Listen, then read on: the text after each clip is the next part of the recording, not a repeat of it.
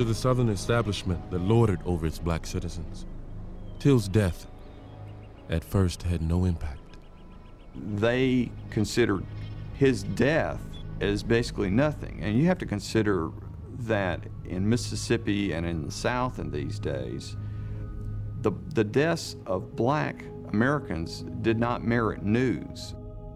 The possibility of a trial or a conviction was also a non issue. The history of, of Mississippi, and I'd say in general in the South, was that no whites had ever been convicted for killing blacks. It is in that setting that he was killed with a degree of permissiveness. But that is how grotesque, how sick the country was at that time. Within days of his death, Emmett Till's body was found at the bottom of the Tallahatchie River.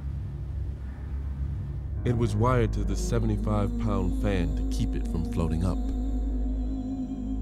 When his remains were sent back to Chicago, his mother was torn apart with grief. But the wooden box that held his body had been nailed shut. There were instructions from the Mississippi coroner that under no circumstances was it to be unsealed. But this was Chicago, and Emmett's mother demanded to see her son one last time. After seeing what was left of her son, Mamie insisted on an open casket funeral. I wanted the world to look in and see.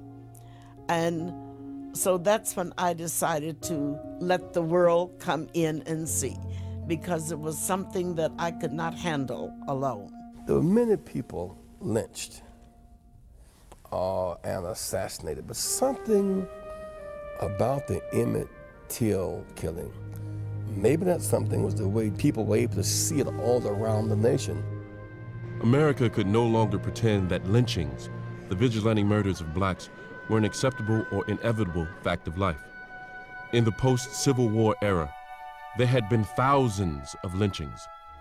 Emmett Till's death underscored two points, that things had to change, but also there'd be blood spilled on the way.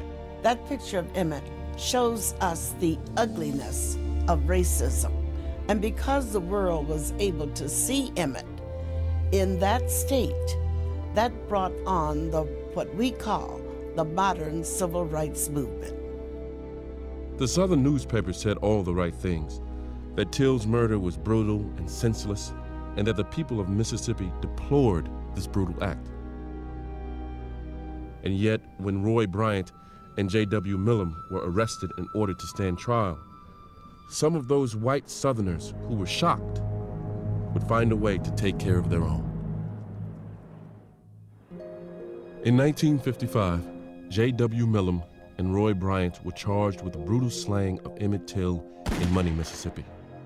As America pointed an accusing finger at the South, white Mississippians who'd previously decried the killing now circled their wagons. They raised $10,000 for the accused legal expenses, and five local lawyers volunteered to defend them. During their testimony, Milam and Bryant brazenly admitted to kidnapping and beating the boy, and yet the all-white jury deliberated for just one hour and acquitted them of murder.